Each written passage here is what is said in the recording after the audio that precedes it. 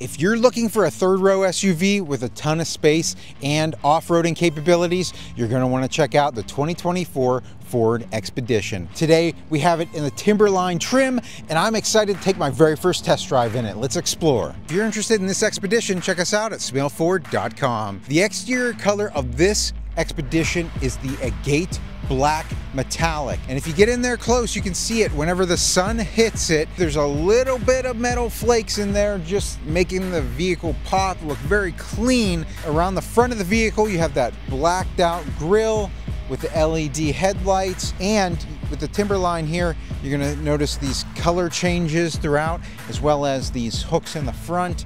So coming around the side of the vehicle, first thing you'll notice are those 18 inch ebony painted wheels. Ford logo in the center. Coming down the side of the vehicle, you notice those running boards to help you up inside because it is a little bit higher. It comes with a three-year, 36,000 mile bumper-to-bumper warranty, a five-year, 60,000 mile powertrain, and a five-year, 60,000 mile roadside assistance. It has a 3.5 liter high output EcoBoost engine and a 10-speed automatic transmission.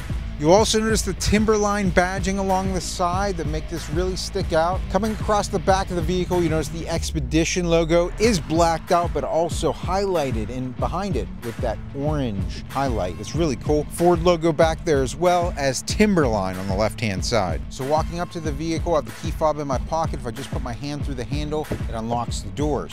Let's say I want to walk away, I just hit the ridges up here, doors are locked up. So when you first get the vehicle, you can also program it so that you don't need the key to get in. You just plug in the numbers and it'll open up the door for you. To get into the tailgate, all I have to do is press a button back here and we have an automatic power tailgate all the way up. We do have some space for storing things here. We have a second little compartment down here for your tow and uh, some additional storage. I can put down the left and right side of the back row or I can put them both down together. So I'm just holding this button in. It's electronic coming all the way down to a complete and total close. We're gonna see how much space is back there in a moment, but you can see that this folds all the way flat to those seats. And let's say I need even more space. I'm just gonna go ahead and put down there's actually three letdowns for these seats down here. So you can put the second row seats all the way down. You put the middle row down. You can put the uh, left or the right down. So that's that's really cool. You can do that all from the trunk here. Let's see how much space we have in that third row. Getting into the back row of seats here, we actually, this is kind of neat. It's catching my eye right now. Uh, I thought these were black seats, they're not. They're a deep cypress. They're a green with some orange stitching throughout here. But I think I'm getting ahead of myself. Let's go ahead and put this seat forward, slides forward like so, and I can easily get into the third row. And there's a ton of space back here, guys. Look at this. These seats, they actually recline. They have reclining seats in this third row. That's really, really cool. I can get really comfortable back here. These seats do feel really plush. They actually have a cloth middle section, so you know you don't really have to worry about any of that uncomfortable cold leather uh, back here. On the left and right side, you can recline those seats. You have a cup holder and a USB back here. So we also have some ventilation up here.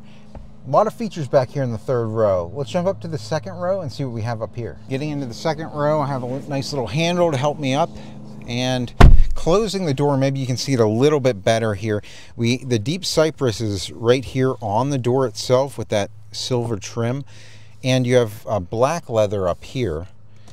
And the back of these seats are that deep cypress as well. Actually the entirety of those seats are. In front of us here some charging options. We have two USB-C ports right here. We have a 110 three prong house outlet as well as our AC settings for the back row. We have two cup holders above that as well. And we also, one last thing down here, I didn't even notice this, we have a 12 volt charger down there as well as a little bit of storage. Back of these seats also have some storage and we have additional ventilation throughout the vehicle as well as a little bit of storage on the doors really cool back seats. Let's jump up front and then we'll get this vehicle on the road. So getting in the Expedition for the first time, it is obviously we have a lot of buttons and some screens in front of us here. I'm to start the vehicle up, put my foot on the brake, start the engine up. So we have a digital screen in front of us as well as two dials. The left dial tells you your RPMs, the right dial tells you your speed limit, and we have all of our gauges up here on the center.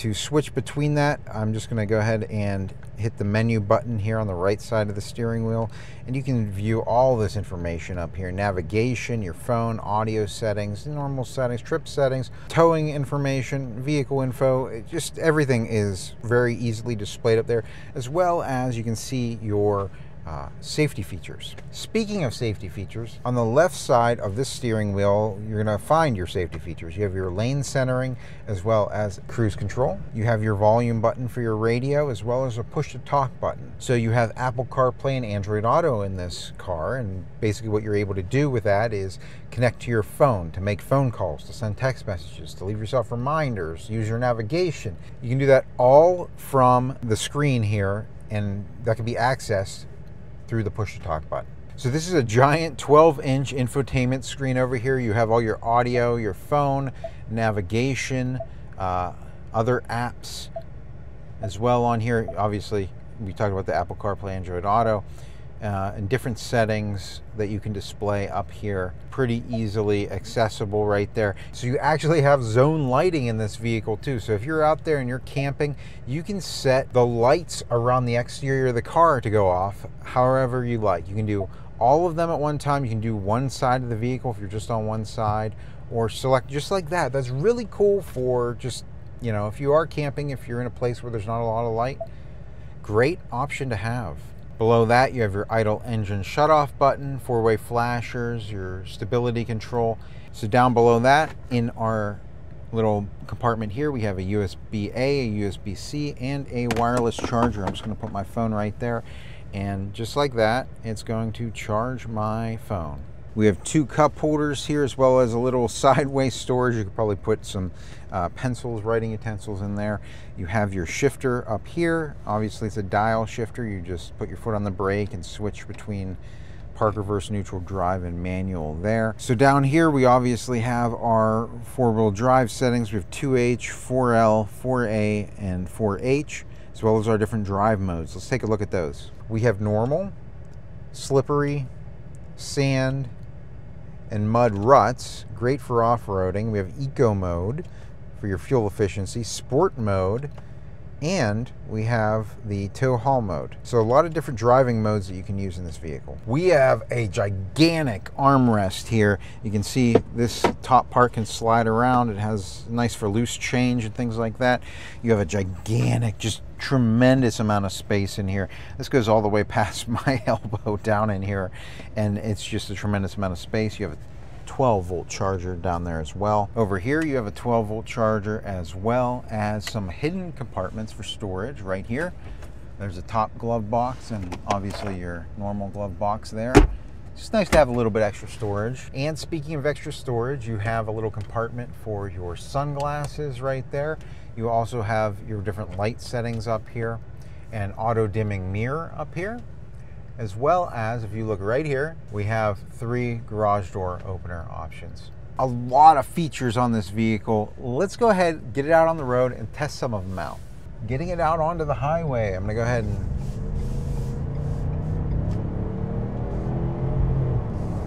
All right, and that 3.5 liter engine getting us up to speed just like that. And I know we're up to speed because I can see the speed limit here on the dashboard. You can actually see the, the sign comes up. I went ahead and switched us over into sport mode. We're gonna go ahead and get this up to speed, hit the gas. Oh boy. Holy cow.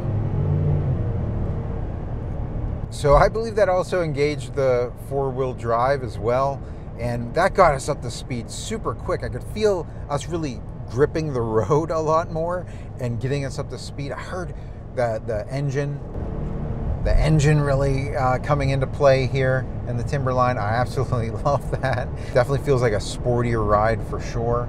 All right, turning radius time. Let's see.